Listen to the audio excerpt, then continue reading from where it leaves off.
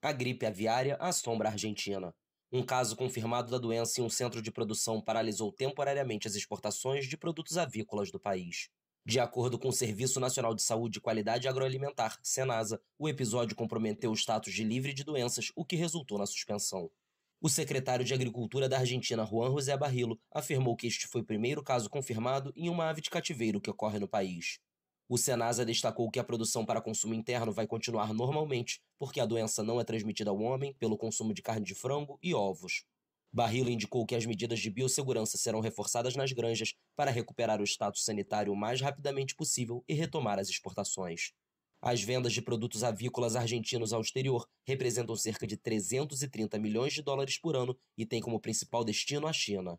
Um último relatório indica que mais de 25 casos de gripe aviária foram confirmados na Argentina, mas até o momento eram em aves selvagens.